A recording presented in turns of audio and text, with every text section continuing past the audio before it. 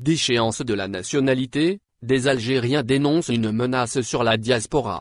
Le projet d'amendement du Code de la nationalité présenté par le ministère de la Justice lors d'une réunion du gouvernement d'Abdelaziz Djirad fait réagir les internautes algériens de façon virulente.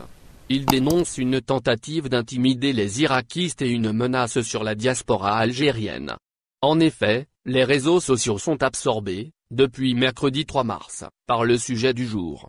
La communication de Belkacem Zegmati relative à l'avant-projet de loi modifiant et complétant l'ordonnance numéro 70-426 du 15 décembre 1970 portant code de la nationalité algérienne ne passe pas auprès des Algériens, qu'ils soient établis à l'étranger ou en Algérie. Selon l'agence officielle, ce texte prévoit la mise en place d'une procédure de déchéance de la nationalité algérienne acquise ou d'origine qui sera applicable à tout Algérien qui commet, en dehors du territoire national, des actes portant volontairement de graves préjudices aux intérêts de l'État ou qui portent atteinte à l'unité nationale. Un texte qui n'a pas tardé à provoquer la colère des internautes algériens qui dénoncent une volonté de faire taire les Algériens établis à l'étranger, particulièrement ceux qui s'impliquent dans le mouvement populaire, enclenché en février 2019.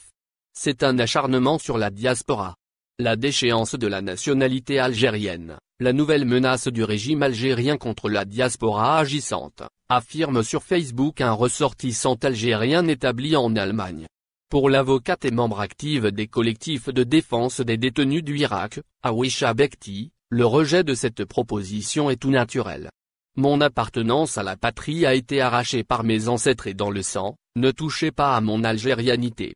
A-t-elle asséné dans une publication Un autre internaute suggère même l'acharnement du pouvoir algérien sur la diaspora. Notamment en liant cette histoire de déchéance de la nationalité à la fermeture des frontières.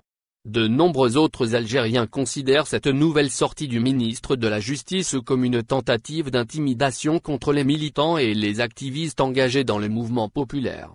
En outre, de nombreux intervenants n'ont pas manqué de rappeler que le pouvoir n'a jamais inquiété ceux qui ont réellement porté de graves préjudices aux intérêts de l'État. Des internautes citent nommément les ex-ministres Shakib Khalil et Abdeslam Bouchouareb. D'autres citent tous les ex-responsables de l'État emprisonnés dans des affaires de corruption.